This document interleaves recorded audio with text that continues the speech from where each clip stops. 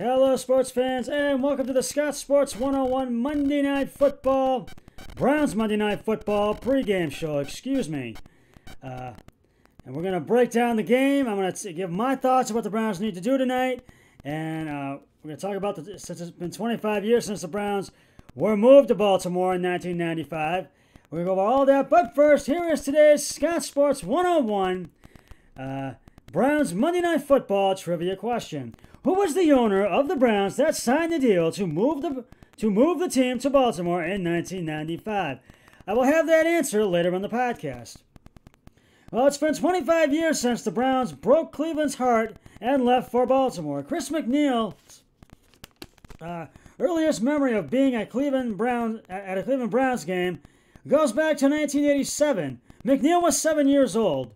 The Browns uh, trailed the Jets by 10 with just four minutes uh, remaining in the AFC divisional playoffs. But I'm standing on my chair, uh, McNeil recalls, yelling, We're gonna win! Sure enough, Bernie Kosar emerged. A pair of uh, dramatic late scoring drives, and, and Cleveland's Cleveland prevailed in uh, double overtime in the third longest NFL uh, uh, history game in NFL history, the Marathon by the Lake, for its for its first playoff victory since 1969. McNeil, uh, there with his parents and his uncle, watching from around the beam, blocking his crew, was hooked. Blocking his view was hooked. Excuse me. That magic has never left me as as the team left, even as the team Scruffled, McNeil said, I always go back to that seven year old me, standing on the chair at Old Municipal, and we've been chasing that magic ever since. Tonight, 50 years after staging the first Monday night game in history, the Browns face up against their former selves, the Baltimore Ravens, in the biggest regular season game Cleveland has seen in decades and that'll kick off at 8.15 on ESPN. 25 years ago, to the week, the former Browns played their final game at Cleveland Municipal Stadium before owner Art Modell shuttered the dog pound and shattered Cleveland's soul, relocating the franchise to Baltimore. Cleveland football eventually came back, but the Browns have yet to recover until potentially, potentially, finally, mercifully, now, we're going to see what happens tonight. Going into this showdown with the Ravens, Cleveland, Cleveland boasts its best record, 93, since returning to the NFL in 1999. The Browns technically can't clinch a playoff spot with a victory. They can, however, all but ensure an end to the NFL's longest postseason drought while as a uh, Cat bonus, dimming the playoff chances of an eternity uh, of, a, of an yeah, eternity at the root of much heart attack of heart, much heartache by the lake. I don't think there is a fan base that's gone through more suffering in pro sports in the last quarter century, uh, said Joe Thomas, Cleveland's former All Pro offensive tackle, who experienced one winning season uh, as a rookie in 2007 before retiring two years ago, and now considers himself a full time Browns fan. Uh, uh, when you go through that much strife and that much pain, you've come uh, that far, the payoff and the emotion and the feeling of joy, uh, I believe, is going to match that feeling of sorrow. Uh, but I've been around Cleveland long enough. You kind of go, you, you've got kind of got to guard your heart a little. The drive, the fumble, the move, watching Modell hoist that fine, that elusive uh, Lombardi Trophy, but with Baltimore 30 different quarterbacks going 1 and 31, nose diving into a laughing stock of the league. We're the kids at Christmas with no toys. That's what it's like to be a Browns fan, said longtime Radio Cleveland host Tony Rizzo uh, of The Big Show on WKNR Sports Radio AM 850. But that's, but that uh, uh, resiliency of the uh, of the Browns fan is un is unmatched by any in sports. And the playoffs uh, and the playoffs. We and the playoffs would be the biggest Christmas present we would ever get we could ever get and it and it would be uh, once the city one this city has been waiting for 17 seasons since 2002 uh, one of the best things about the NFL is Cleveland, said ESPN's Mike Tannenbaum, who worked in the front Browns front office uh, in 1995. That the that city loves its team.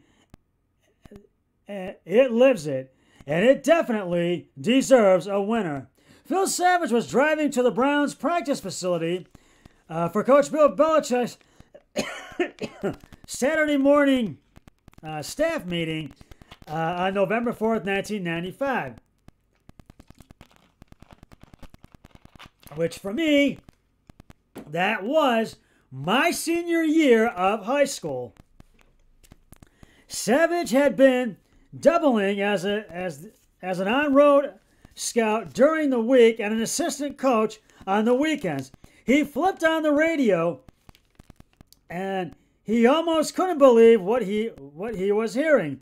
Modell was moving uh, was moving the Browns, igniting one of the most tumultuous uh, times in both Cleveland and NFL history. That's how I found out, said Savage, who ultimately followed Modell to Baltimore before returning to Cleveland in 2005 as general manager. That's almost how all uh, the Brown, uh, all the football staff found out. Excuse me. Uh, to that point, Cleveland has been uh, riding a renaissance after becoming the first major city to suffer an economic default since the Great Depression in 1978, the Cardiac Kids of 1980.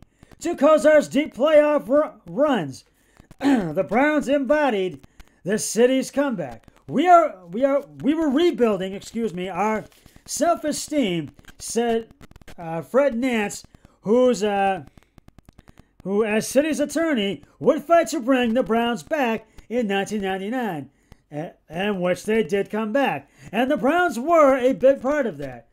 in 1994, uh, and the city in Cuyahoga County built a new arena to bring back the Cavaliers downtown and a new baseball stadium so the Indians wouldn't have to uh, share a municipal stadium with the Browns anymore. But as those money making venues debuted, municipal uh, stadium was literally falling apart. Coaches and players had to hang their clothes on, on nails in the wall.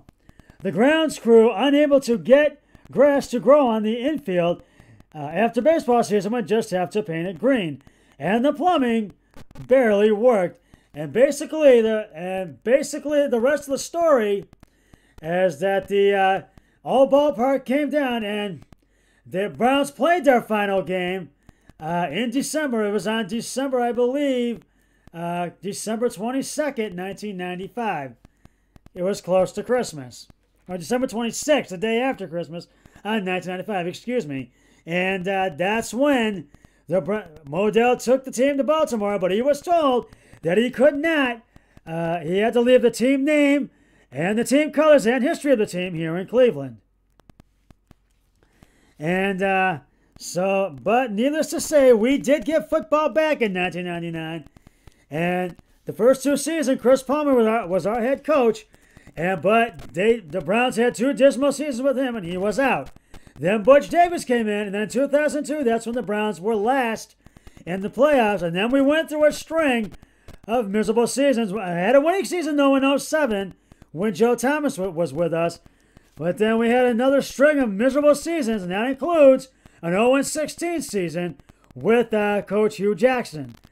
And now we now have a coach that knows what he's doing, but Chris McNeil has those memories, and he can't wait for tonight's game against the Ravens, and he hopes the Browns are going to win. Now, the Browns are going to have to score on the Ravens early tonight in this game and do what they did last week in their performance against the Tennessee Titans. But they're going to have to be really brown.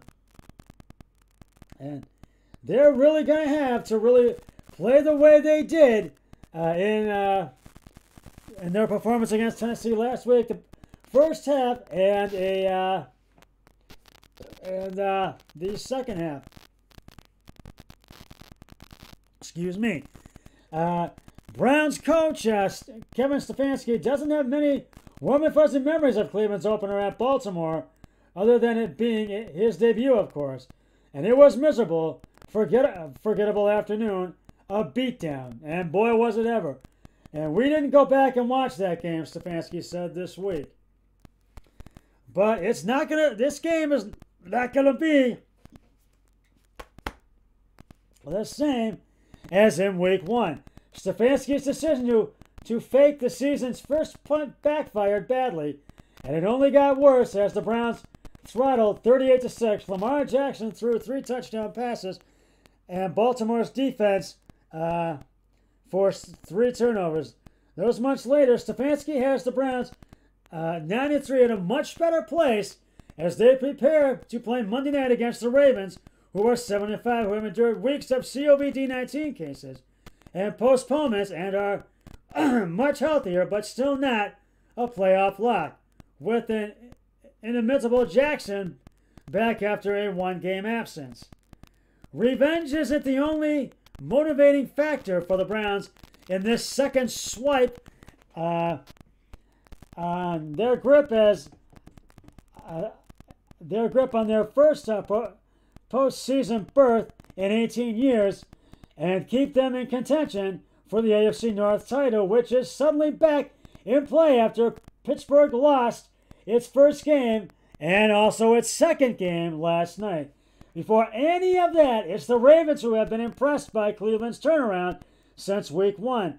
I've said this season opener that was that was a good football team, and a lot of you guys just rolled your eyes. And I recall Baltimore coach John Harbaugh said to Baltimore beat writers this week, it it's pretty easy to see where where they were going and what they were building.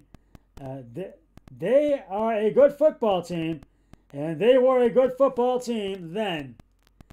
Uh, they came out the next week, a win over Cincinnati, and proved they were good, a good football team.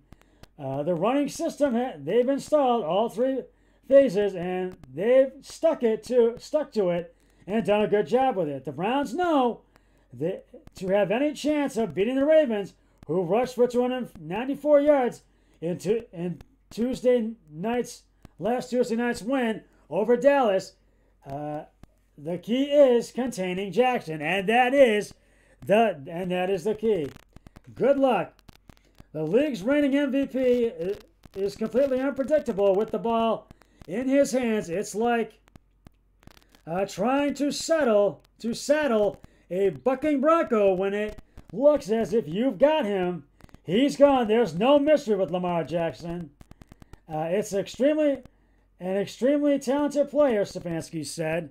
Uh, he it's hard to get on the ground. Button, button, ground. Bottom line, he is a he's great, great player, outstanding with the ball in his hands, and then and then he can beat you with his arm and his arms or his legs. It's a challenge, and it's and it's a challenge that all of my guys on defense have to be have to be about their business. And we have some strong return. Myles Garrett look, looked like Myles Garrett last week, and he's got to do that again tonight. Cleveland star defense return after missing two uh, defensive end return after missing two games of COVID 19 and other, uh, then showing the same understandable fatigue uh, and uh, in Tennessee's backfield and have one sack. Quarterback Ryan Tannehill several times and forced Titans offensive linemen to resort to whatever it took to stop him. And they did that, and uh, that's what they're going to have to do tonight. And uh, I'll be right back. Stay with